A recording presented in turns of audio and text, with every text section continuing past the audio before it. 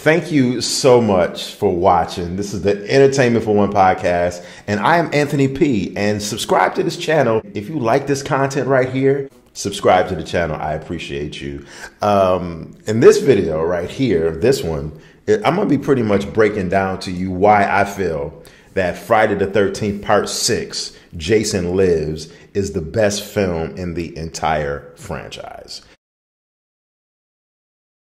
Friday the 13th Part 6 balanced that tone of being a, a horror film and kind of somewhat serious, but but it took like a lighter comedic feel to it, but it didn't go overly comedic. One of the things that really makes this my favorite Friday movie was the fact of the killer soundtrack. We had Alice Cooper. A couple of his songs was featured heavily and predominantly, predominantly throughout the film. Teenage Frankenstein and The Man Behind the Mask. I also thought this film had the best version of Tommy Jarvis. You know, we saw Tommy, uh, we, we saw Corey Feldman play a younger version and then there was an actor previously in Friday Five that played Tommy Jarvis, or more of a, a mental uh, Tommy Jarvis. But I thought that the actor, his name was uh, Thomas Mathews, uh, ironically. Thomas Mathews, I think he did an exceptional job as uh, Tommy Jarvis. He brought a more grounded appeal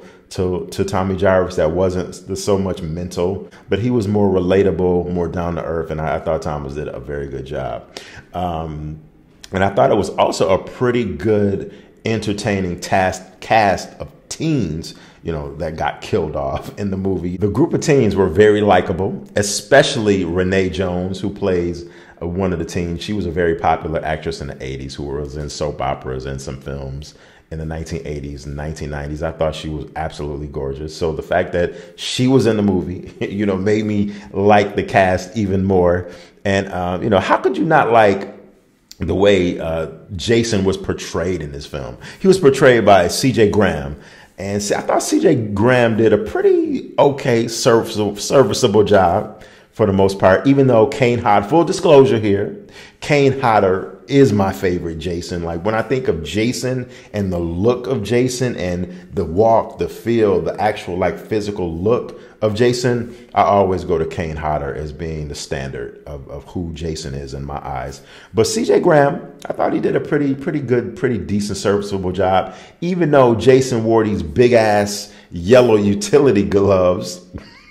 throughout the movie. I have no idea what that was about. And he had like a little harness belt on his, like a utility belt. He had like utility service gloves on, electrical utility service gloves, and a utility belt on throughout the whole movie. I don't know what the hell that look was about. But you know, I, I did like the look of Jason in this movie. Uh, so, and another thing, I thought, you know, the movie had some real good kills too. It really did. I thought when the sheriff got killed, that was a good scene. Uh, you know how you know Jason kind of like literally like bent the sheriff's sheriff's sheriff sheriff's body into to where he looked like a spider. I thought that was a good kill. They didn't really have too many kills in the movie, but the the few kills that they did have and that they that, that they actually did show were pretty nice. I like the sheriff scene. Um, another scene with the couple in the uh, the the Volkswagen in the beginning of the film, how Jason had that long. Why did Jason have a spear in this movie?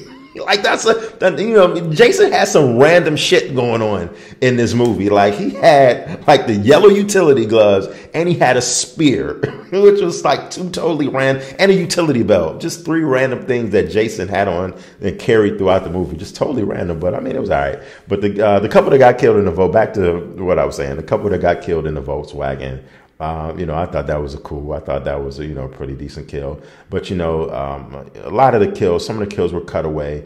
So I think overall, the best Friday the Thirteenth film that had the best kills was Friday the Thirteenth Part Seven the new blood, the new blood. But unfortunately, all of those scenes got literally chopped up and cut out. Overall, yeah, this is like my favorite movie. I like like the tone of it. I like the pacing of it, and it's just a fun film. Like I can literally put it on and watch it back to back. It's a fun film. The only thing that that kind of was like a drawback, and that you could kind of say that this film really didn't have compared to previous Friday films was nudity. The nudity factor was definitely at a zero. It was not there like it should have been. But overall, overlooking all of that, I think it's I think it's an excellent film. I mean, don't get me wrong here. We're talking about this isn't Silence of the Lambs here. Which Friday film is your favorite film? Is it no, the very first one with Pamela Voorhees? Or maybe is it, I don't know, the remake that came out in 2009, 2010? Or maybe you might like Jason Takes Manhattan.